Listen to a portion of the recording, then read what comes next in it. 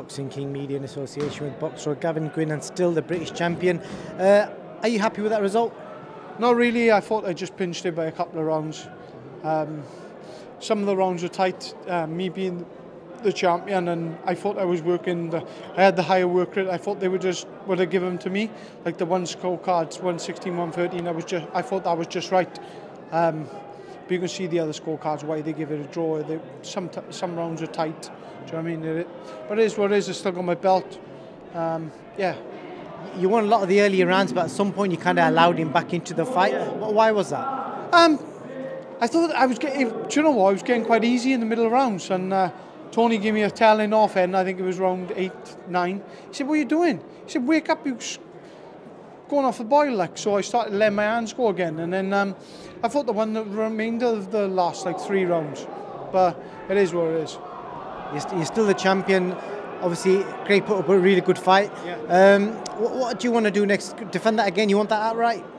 Um, I just say no. I'm I'm 32 now, so I want to push on for bigger bigger titles. Um, if the European title's there, or I'd I'd fight the winner Max Hughes, Kid Galahad, like next. Yeah, I just want these big fights. I'm I'm always in good fights, and uh, with Wasserman's backing now, hopefully they can push for that. And uh, yeah. Definitely. You mentioned Tony there. Tony ended up in a scrap himself at the end. what, what was all that about? Ah, some numpty, some numpty jumped in the ring. Uh, haven't even got a license. Uh, throwing his weight about, he probably can't even scrap. The little, oh, yeah. You had Lee Eaton in your corner. I'm sure Lee can look after himself. What, what, do you What do you think of his performance, Lee? Um, listen, I thought this is, Gavin can win. Uh, obviously, can box a lot better.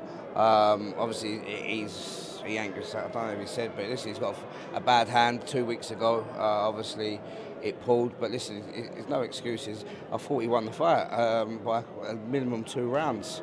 Um, Craig Woodruff just had the uh, performance of his life, so fair play to Craig. Do you know what I mean? You can't you can't knock the boy. He's, he's a lovely kid. Um, but his team at the end barging me and then screaming and shouting at uh, Tony Borg.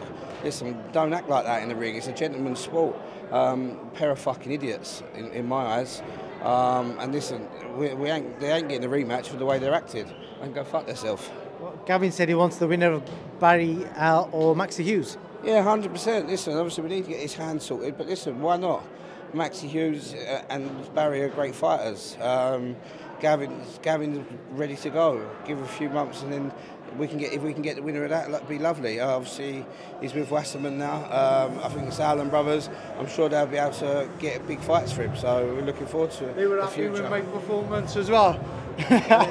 so yeah, he said, um, yeah, we're happy. He signed you. Um, great performance. Um, crowd please, pleasing performance, and uh, obviously live. How many viewers was it tonight? Over. Oh, probably going to get a million. Oh, not, not, not far off a million viewers. So um, it's just going to raise my profile as well. Um, big thank you goes to Lee Eaton for getting that signed up to me. Yeah.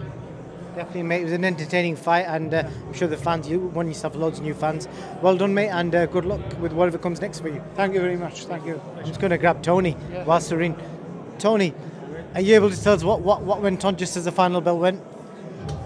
Yeah, one or two um, idiots jumped in the ring. They're not, not licensed.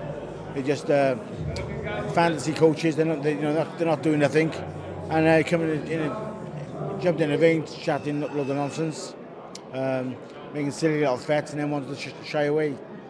Just don't need it to be. they got something to say, come they got something I need to get hold of. You got, you got a problem, come and see me. I won't mess with you, Tony. But did you guys make up at the end?